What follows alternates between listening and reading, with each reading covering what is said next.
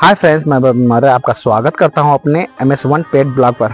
तो फ्रेंड्स आज हम आपके लिए लाए हैं मथुरा में स्थित वृंदावन में प्रेम मंदिर की वीडियो फ्रेंड्स हम यहाँ पे राधा रानी जी के दर्शन करने हुए आए हुए हैं और विवश, अपने साथ साथ में हम अपने विवर्स को भी आज राधा रानी और श्री कृष्ण जी के दर्शन कराने वाले हैं।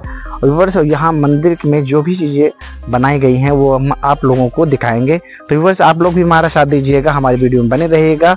और हाँ व्यूवर्स अगर आप लोग हमारे चैनल पर फ़र्स्ट टाइम आए हैं तो हमारे चैनल को सब्सक्राइब कर लीजिए और बेल आइकन को भी प्रेस कर दीजिए, ताकि हम जब कोई नेक्स्ट वीडियो अपलोड करें, उसका नोटिफिकेशन आप तक प्रॉपर पहुँचता रहे।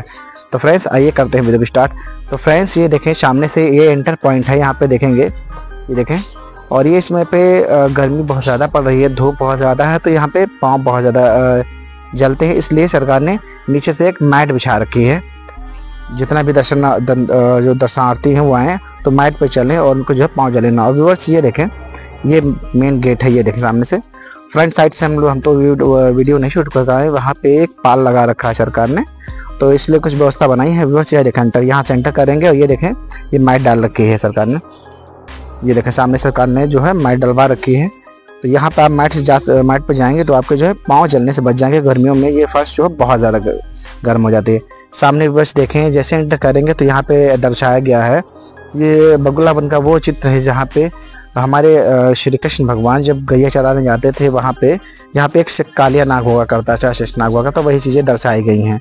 ये देखें यहाँ पे पीछे गायें दर्शाई गई हैं, गायें हैं और ये वो कालिया नाग है। और कालिया नाग के ऊपर श्री कृष्ण जी को दिखाया गया है। ये देखें सामने ऊपर, नृत्य करते हुए। और साथ में ही जो है जो कालिया नाग है, उसकी जो बीवियाँ थी, उनको भी इसमें दर्शाया गया। ये देखें, दो इधर हैं और ये सामने देखेंगे, और एक इधर। ये देखें, इधर दिखाया गया। और कि पीछे का दृश्य देखें गायें भी दिखाएँगे इसमें। और गवे, गाँव, जो है, गाँव की भी प्रतिमा दिखाई गई हैं। विवश ये देखें, और ये है एंटर करते जाके सामने से इधर जब जाएँगे। तो व्यूवर्स ये देखें। मंदिर की सुंदरता जो है देखने लायक होती है, देखें। व्यूवर्स ये मंदिर जो है ना, बहुत ही खूबसूरत है। व्यूवर्स जो लोग बात करते हैं कि आगरा बहुत, आगरा का ताजमहल बहुत अच्छा है, बहुत अच्छा है। तो व्यूवर्स अगर हमारा मानना है कि हमारे प्रेम मंदिर के सामने हमारा जो है ताजमहल बिल्कुल फीका पड़ जाएगा, क्योंकि ये देखें इनकी सुंदरता देखें। और यहाँ पे कुछ पिक्चरें दिखाई गई हैं, ये देखें। बहुत ही बेहतरीन। इसकी जो नक्काशी गई, बहुत बढ़िया। व्यूवर्स ये देखो, ये इंटर पॉइंट है, यहाँ से अब ये देखें।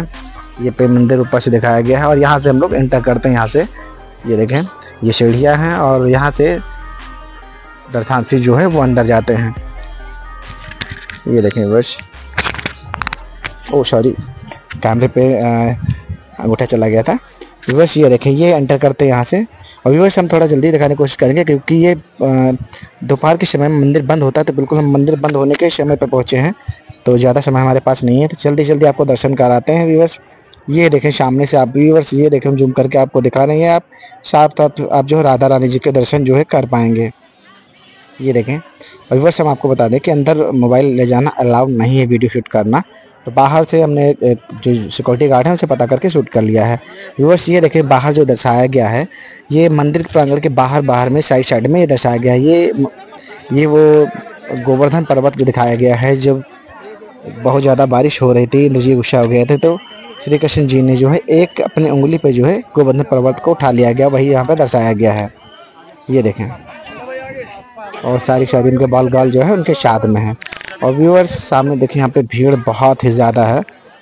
और यहाँ पे देखें, ये वो चित्र दर्शाया गया है जहाँ पे हमारे भगवान श्री कृष्ण ने जो है जन्म लिया था। ये देखें, सामने देखें आप, ये वो जो है नदी भी दर्शाई गई है। और ये देखें, ये श्री कृष्ण जी को हमारे जो है उनके पिताजी ले जाते हुए और ऊपर से शेषनाग भी जो है अपना फन फैला हुए बारिश से बचाने के लिए। इसमें यहाँ पे चित्रकारियों में सबको दर्शाया गया है। और यहाँ पे काफ़ी ज़्यादा लोग आते हैं तो वीडियो बनाना थोड़ा मुश्किल हो जाता है। तो बच बचा के थोड़ा थोड़ा हम आप लोगों को दिखाने के लिए थोड़ा थोड़ा बनाते बनाते चल रहे हैं। ये देखें। ये वो जेल भी दिखाई गई थी जहाँ पे हमारे भगवान से हमारे आराध्य श्री कृष्ण जी ने जो है जन्म लिया था। कैसे जहाँ जन श्री कृष्ण जी ने जन्म लिया था तो उस समय पर देखेंगे। ये द्वारपाल भी सोते हुए दिखाए गए हैं इसमें। ये देखें। व्यूअर्स व्यूअर्स, हम जितना भी आप हम अपने नज़र से देख रहे हैं, वो सब हम आपको भी दिखाते चल रहे हैं। ये देखें। और आगे चल के देखें तो यहाँ दिखाया गया है ये ये गोपिकाओं संग दिखाया गया है। ये हमारे श्री कृष्ण जी विराजमान है यहाँ पे। ये देखें। बस यहाँ की सुंदरता जो है देखने लायक होती है। बहुत ही सुंदर है ये सब। वैसे अगर आप लोग भी आना चाहते हैं यहाँ पे, एक बार ज़रूर आएँ। अपने फैमिली के साथ में आए यहाँ पे। ये देखें। वैसे अपनी फैमिली के पूरे पूरी फुल फैमिली के साथ में आप इस मंदिर का एक बार दर्शन करने ज़रूर आएँ। यहाँ पे बहुत ही सुंदर सुंदर चीज़ें दिखाई गई हैं। ये देखें। सुंदरता के बखान क्या बखान करें? हमारे पास तो लफ्ज़ ही नहीं है। इतनी सुंदर सुंदर चीज़ें यहाँ दिखाई गई। व्यूवर्स ये वो पूतना दिखाई गई है। एक पूतना जो राजस्थान थी जिसने हमारे भगवान ने जो है तार दिया था। ये पूतना की दृश्य दिखाया गया यहाँ पे। व्यूवर्स ये चित्र जो है चलते हैं। अभी फिर फ़िलहाल रुका हुआ है, क्योंकि मंदिर बंद होने का समय है तो यहाँ से रोक दिया गया है। वरना ये सब चित्र जो चलते हैं। जो मूर्तियाँ हैं यहाँ पे, ये सब चलती हैं। फ्रेंड्स ये देखें। दोपहर में जो है, मंदिर बंद हो जाता है और फिर चार बजे खुलता है। दोपहर में करीब दो बजे के समथिंग बंद हो जाता है, फिर चार बजे खुलता है। फ्रेंड्स, ये देखें, ये माखन चोरी करते हुए हमारे लल्ला जी को दिखाया गया है। और फ्रेंड्स, इस सब सब लोग जो है, जयकार लगाते बाहर निकल रहे हैं, क्योंकि जो वहाँ सिक्योरिटी गार्ड हैं, वो बोल रहे हैं कि आप लोगों को चार बजे के बाद आना है तो व्यूवर्स हम दोपहर में गए थे तो अभी हम जो है, मंदिर प्रांगण से बाहर जा रहे हैं और दोबारा चार बजे के बाद फिर से आएँगे। तो फ्रेंड्स, तब तक तो ले बाय बाय